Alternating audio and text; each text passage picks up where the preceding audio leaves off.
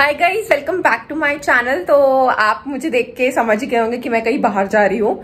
तो अभी ना मैं और मम्मी और राशि हम लोग जा रहे हैं एक कैफ़े तो मैं वहाँ पे जा चुकी हूँ, लेकिन मम्मी और राशि गए नहीं है तो उनके साथ मैं जा रही हूँ। तो आई थॉट कि मैं आपको भी लेके चलती हूँ। आप लोग ने जावा द कॉफ़ी हब के बारे में सुना ही होगा। और मैंने खुशबू का जो बर्थडे वाला जो वीडियो था, उसमें भी हम लोग वहीं पे गए थे, लेकिन मैंने आपको पूरा डिटेल में नहीं बताया था, वो कहाँ पे है, कैसा है फ़ूड मतलब क्या क्या मिलता है वहाँ पे, कुछ नहीं बताया था, लेकिन इस वीडियो में हम ये कवर करने वाले हैं सब कुछ। तो एंड ऑफ़ द वीडियो तक रुकिए, क्योंकि एंड में मैं आपको पूरा रिव्यू बताने वाले हूँ रेस्टोरेंट का। तो अभी हम रेडी हो चुके हैं एंड अभी हम निकल रहे हैं जावा द कॉफ़ी हब के लिए। गाइज़ हम अपने डेस्टिनेशन डेस्टिनेशन में पहुँच डेस्टिनेशन पे पहुँच चुके हैं। तो मैं आपको बताना चाहती हूँ, ये एग्जैक्टली लोकेशन कहाँ पे है? तो गाइज़ ये Nagpur improvement trust V I P L I park में है तो आपको ऊपर जावा कैफ़े दिख रहा होगा ओपन में तो ये ऐसा है और अगर आ, जो आईटी पार्क है ना उसके पास में है और यहाँ पे ना यहाँ पे जूडियो है रिलायंस मार्ट है ये सब कुछ है और अभी हम लोग ऑपोजिट डायरेक्शन में तो अभी हम अंदर यहाँ से पार्किंग में जाएँगे वहाँ से सॉरी पार्किंग में। मैं अभी ऑपोजिट डायरेक्शन में हूँ तो आप ना कभी बिल्डिंग के ऑपोजिट में गाड़ी पार्क नहीं कीजिए, क्योंकि ना अब वहाँ से गाड़ी उठा के ले जाते हैं या गाड़ी पे जैमर लगा देते हैं तो आप हमेशा ना अंदर मतलब यहाँ पे पार्किंग है ट्वेंटी रुपीज़ की है तो आप आराम से अपनी गाड़ी अंदर पार्क कर सकते हो एंड डायरेक्टली फिर लिफ्ट से आप ऊपर जा सकते हो कैफ़े के लिए।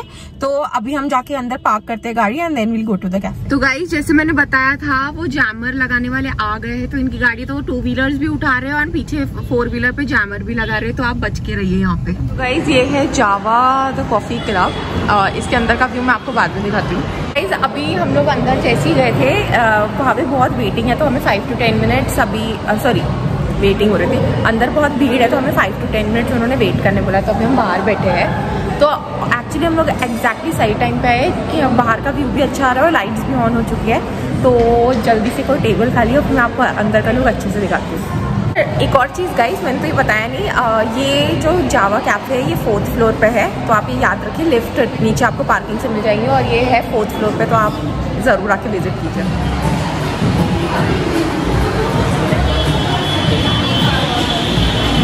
गाइस हमें टेबल फाइनली मिल चुकी है और अभी हम बैठ चुके हैं। तो आपने वीडियो देखा, इतना सुंदर कैफ़े है। तो इधर ना फ़ोटो फोटोजेनिक कैफ़े है, बहुत सुंदर है।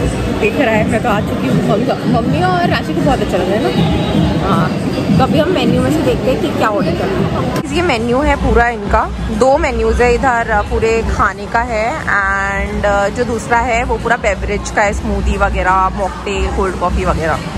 गाइस यहाँ पे एक एग्स केजरीवाल है। केजरीवाल से आपको कुछ याद आ ही गया होगा कि कौन है वो। यहाँ पे शर्मा जी बर्गर है। रोहित शर्मा। तेरे नाम का बर्गर है यहाँ पे। रोहित शर्मा क्रिकेटर नहीं रोहित शर्मा मेरा दोस्त भी है उसके बारे में मतलब बात कर रही थी वहाँ पे लिखा है programmer and organism that turns coffee into software अच्छा। और दिमाग वाला काम है my computer wouldn't run because it said I need Java so I copy वो वाला बहुत सही, जो भी उन्होंने कोट लिखा था बहुत सही था। और अभी ना हम लोग ना मेन्यू डिसाइड कर रहे हैं, इतना कन्फ्यूज़न हो रहा है। तो हम फट से अब सिर्फ़ ऑर्डर देने का वेट कर रहे हैं, हमने डिसाइड तो कर लिया है। और वेट करते खाने के लिए। तो गाइज़ मैंने आपको पास का तो मतलब मैंने व्यू अच्छे से दिखा दी लेकिन आप और अच्छे से देख सकते हो, और इस वीडियो में मैं भी रहूँगी तो आप देख सकते हैं। छोटा सा ही काफ़ी है, उतना बड़ा भी नहीं है, लेकिन इसे बहुत एस्थेटिकली डेकोरेट किया है, बहुत सुंदर लग रहा है। और पीछे का भी जो डेकोरेशन है it's really nice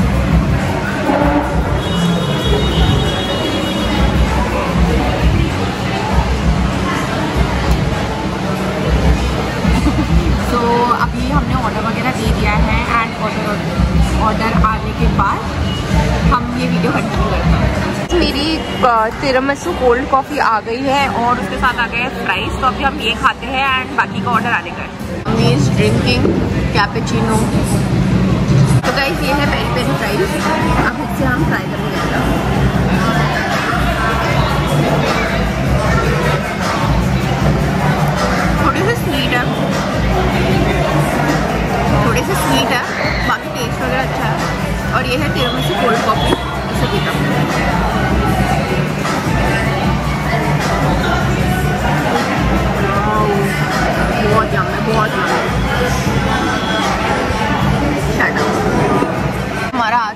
falafel and pita बहुत यम दिख रहा है। ये हमस है।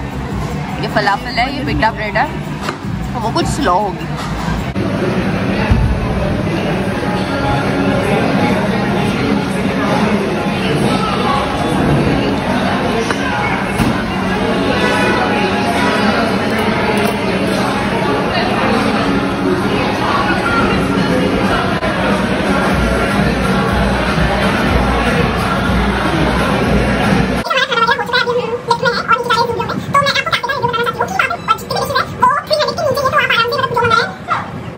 चुके हैं जूडियो जूडियो में थोड़ी बहुत शॉपिंग कर रहे हैं।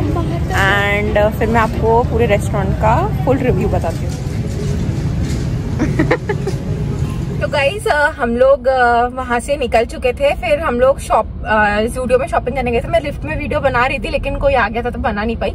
तो अभी हम लोग शॉपिंग वगैरह करके आ गए। तो मैं आपको पूरा जावा द कॉफ़ी हब का रिव्यू देती हूँ तो पूरा जो मेन्यू है इसमें से पूरा मेन्यू में जो जितने भी आइटम्स है सारे 300 के नीचे तो बहुत रीजनेबल है। वैसे कैफेज में बहुत महँगा मिलता है खाना लेकिन यहाँ के रेट्स रीजनेबल थे तो बहुत अच्छा था।